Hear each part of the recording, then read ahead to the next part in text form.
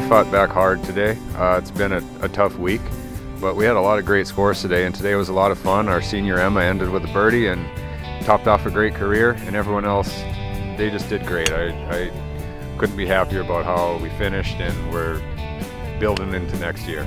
I was just happy. Every hole, just kind of taking it all in, um, enjoying every moment, playing for my team, and I just enjoyed every step of the way. We just had a fun walk up the 18th. We talked about the dogs lining the fairways and which one was the funniest, and uh, it was just it's a special moment for me and hopefully for them also and, and to top it out for the birdie that that makes it even more special. I have such a great team, such a great coach.